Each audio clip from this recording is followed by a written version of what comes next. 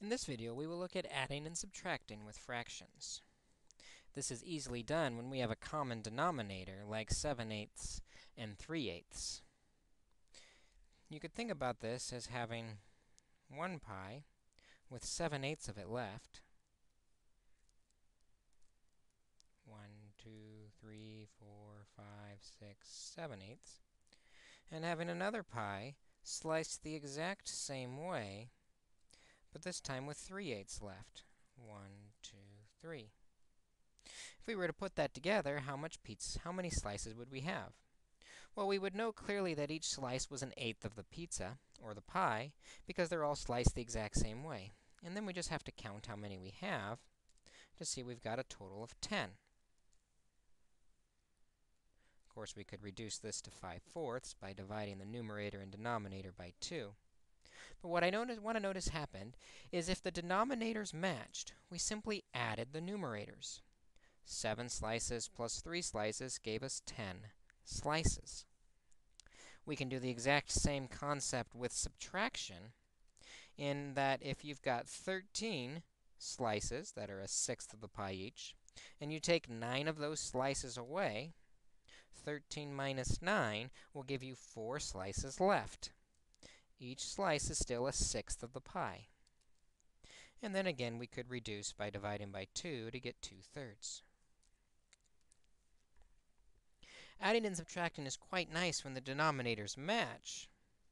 It might take a little more work, though, when the denominators do not match. When the denominators do not match, we are going to make them match by identifying the least common denominator of the numbers we have. Here we have 6 and 9. And while 9 is not divisible by 6, we do know that 18 is divisible by 6. And so what we're going to do is we are going to build up each denominator so that it has a denominator of 18. We can do that by multiplying top and bottom, numerator and denominator of the fraction, by the same thing. 6 times what is 18? 6 times 3 is 18. So we'll multiply that fraction by 3 to get 15 over 18.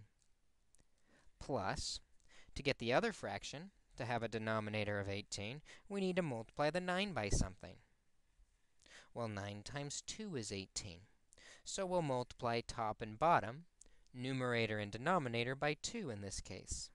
4 times 2 is 8, and 9 times 2 is 18. I want to notice that we do not want to reduce here. If we reduced, we would lose our common denominator that we just worked so hard to get. Instead, since we have a common denominator, let's simply add the numerators together. We've got 15 slices. 8 more gives us 23 slices that are each cut to the same ratio of an 18th of the pizza. Keep the denominator and add the numerators we would want to reduce if we could. In this problem, however, there's no reducing available. Subtraction works in a very similar way, where we would want to identify the least common denominator so that all the slices were the same size, and then we can subtract the numerators. The least common denominator between 3 and 6 is going to be 6. So we need to multiply 3 by something to build it up to be a 6.